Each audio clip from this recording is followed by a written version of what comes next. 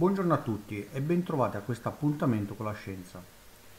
Oggi tratteremo in generale aspetti riguardanti l'energia in particolar modo quella presente nell'ambiente marino.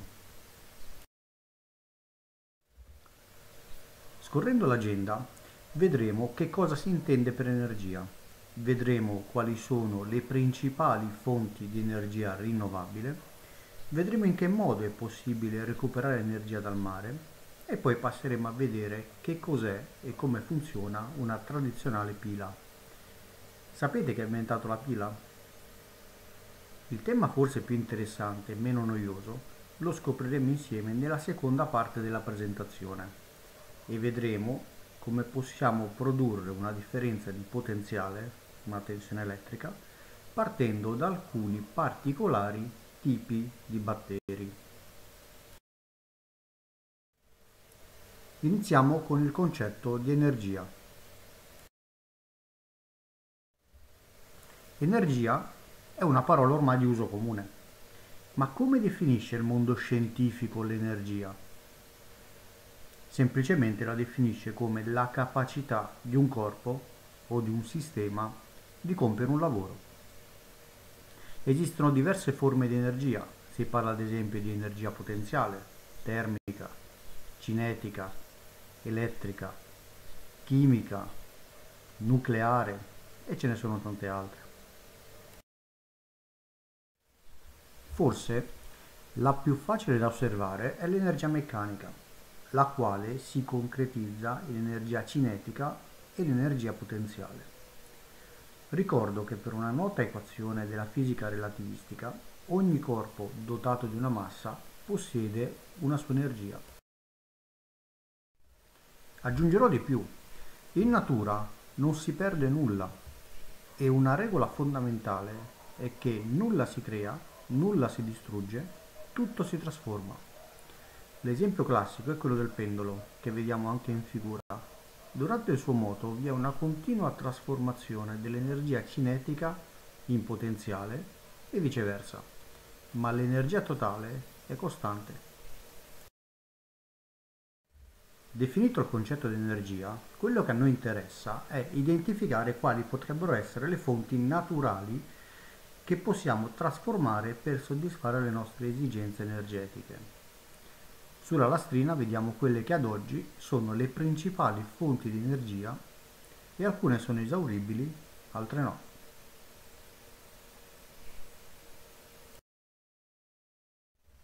Ma quali sono le fonti di energia rinnovabili? Vediamole. Partiamo da quella solare. Sicuramente è la più importante. Abbiamo poi quella eolica, idroelettrica, quella proveniente dalle biomasse, quella geotermica e quella invece propria degli oceani.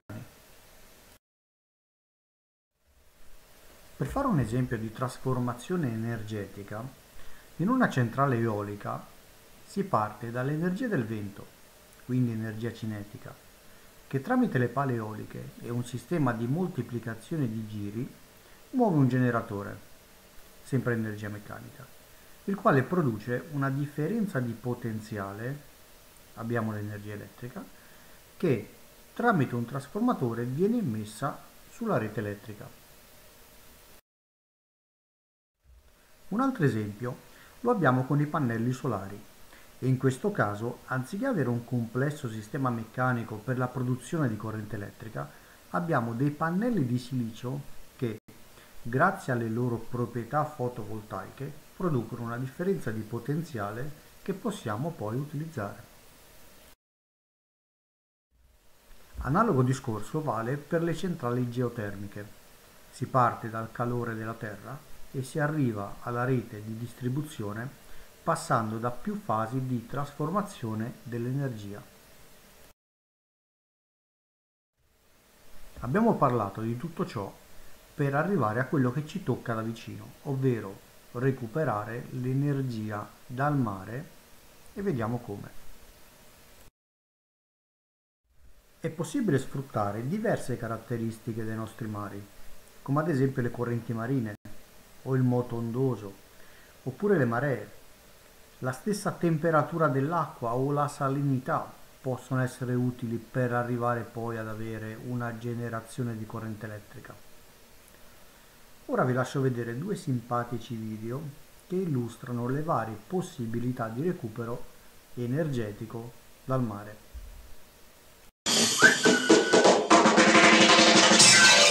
Il mare e gli oceani, che coprono ben il 75% della Terra, hanno enormi potenzialità energetiche, masse gigantesche, incredibili quantità di energia cinetica che attende solo di essere imbrigliata. Oltre alle maree, il mare è costantemente rimescolato da correnti stabili e regolari, specialmente intorno a promontori, negli stretti, nei canali. Superficiali o più di profondità, le correnti marine sono dei veri e propri fiumi impetuosi senza costruire dighe o bacini artificiali, in questo caso si prende a prestito la tecnologia delle pale eoliche. La corrente marina innesca il moto rotatorio delle pale, che una dinamo trasforma in corrente elettrica.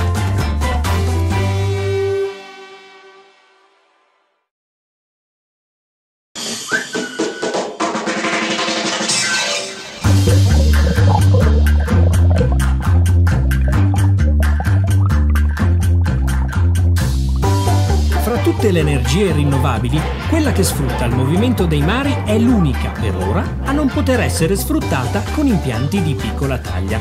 L'energia delle onde viene catturata in mare aperto, grazie a grappoli di boe galleggianti nel mare o paratie galleggianti ancorate sul fondo nell'oceano. Si sfrutta così il movimento delle onde per produrre energia. Un altro metodo è basato sul gradiente termico, ovvero sulla differenza di temperatura tra l'acqua di superficie e l'acqua di profondità.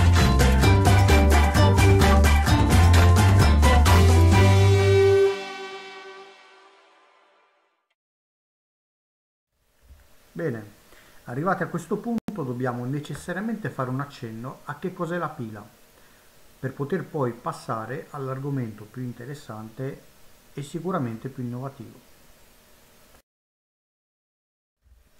La pila, inventata oltre due secoli fa, è il più diffuso generatore portatile di energia elettrica.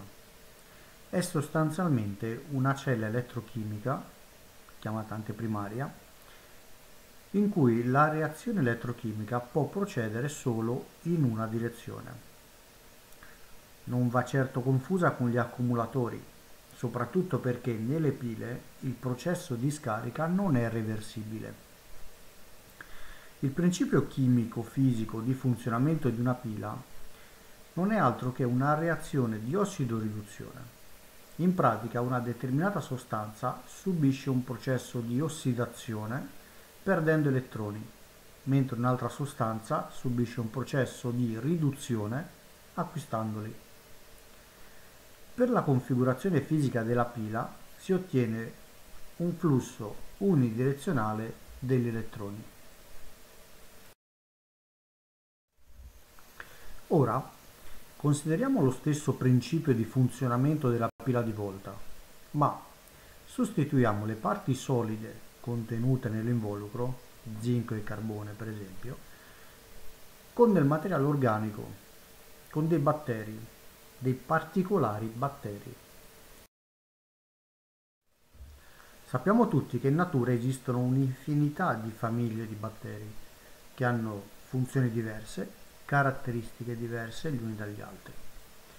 Quelli che interessano a noi vivono nell'acqua di mare. Stiamo studiando come produrre energia elettrica partendo dal metabolismo di particolari batteri presenti appunto nell'acqua di mare, realizzando quindi una vera e propria batteria biologica. Arriviamo quindi all'ultimo argomento, Molti di voi ci staranno chiedendo come facciamo a produrre corrente elettrica dai batteri. Vediamolo. Intanto definiamo i batteri. Sono della famiglia degli exoelettrogeni, cioè quei batteri che naturalmente rilasciano elettroni grazie al loro metabolismo. Funzionano di fatto come biocatalizzatori. Una pila a combustibile microbiologica converte l'energia chimica in energia elettrica. mediante la reazione catalitica di questi batteri.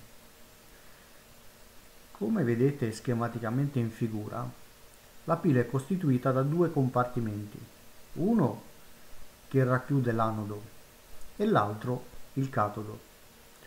Sono uniti da una membrana semipermeabile che permette unicamente il passaggio dei cationi.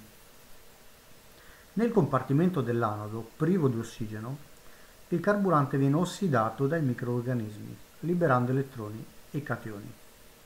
I cationi viaggiano al catodo attraverso la membrana, mentre gli elettroni vi giungono mediante un circuito elettrico esterno alla pila. Elettroni e cationi vengono quindi ricombinati con l'ossigeno nel compartimento del catodo formando acqua. Vediamo qui a sinistra celle microbiologiche e sulla destra la situazione microscopica.